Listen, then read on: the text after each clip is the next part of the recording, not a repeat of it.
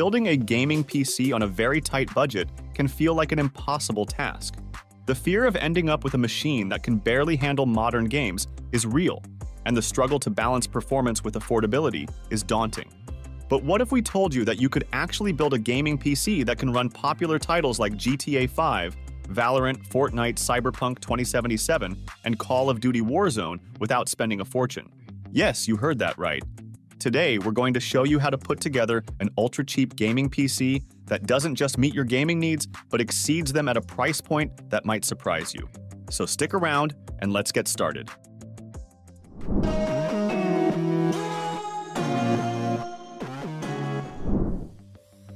Let's start with the heart of our build, the processor.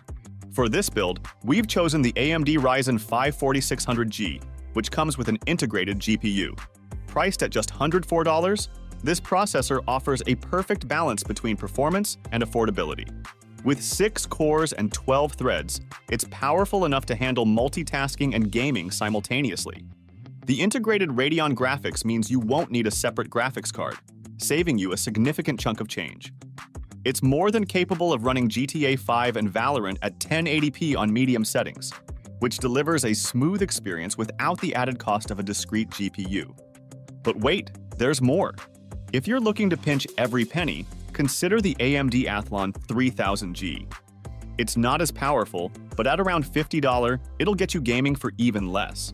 You might also consider the Ryzen 3 3200G. While it's a bit older and less powerful, it still offers decent gaming performance for around $80.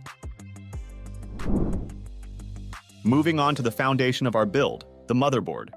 We're going with the ASRock A520M HDV for $68. It's not flashy, but it gets the job done. It supports up to 64 gigabytes of DDR4 RAM, has PCIe 3.0 slots, and plenty of ports for your peripherals.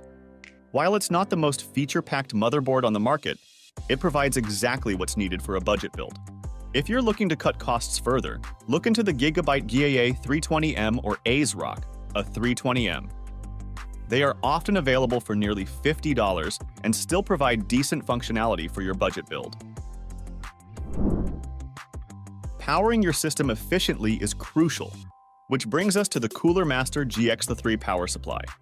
At $119, this unit is a bit of a pricey purchase for a budget build, but it's fully modular, highly efficient, and built to last. The 80 plus gold certification means it's energy efficient, which could save you money on electricity in the long run. However, if you're looking to trim the fat even more, consider the EVGA 500W1 or the Thermaltake Smart 500W. These units often go for around 40 to $50 and will still power your budget build without breaking a sweat. Just remember, don't compromise too much on your power supply. It's the unsung hero of your PC, and a good one can save you headaches down the road. Storage-wise, we're rolling with the S10-1512GB SSD for $27. It's not the fastest SSD out there, but it'll give you snappy boot times and decent game load speeds without costing a lot.